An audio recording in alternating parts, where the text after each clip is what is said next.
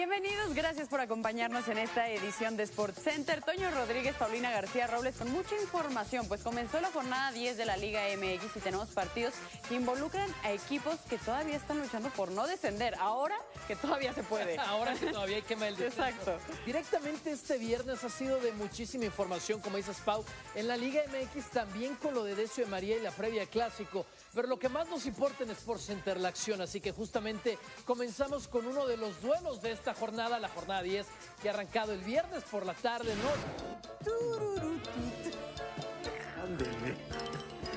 No, top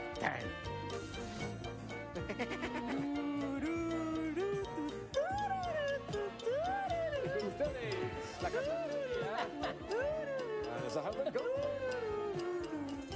Bien, Vane.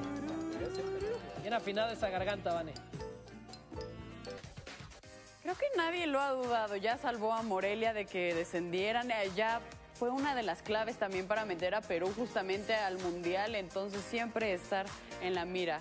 Y no tengan duda que el Tigre Gareca lo va a convocar entonces para la cita de Rusia en este regreso de la selección andina a la Copa del Mundo. Y atención también con lo que pase con Gallese, que está en esa rehabilitación. Operan este sábado entonces a Neymar. Va a estar fuera hasta mayo. Yo sé lo que es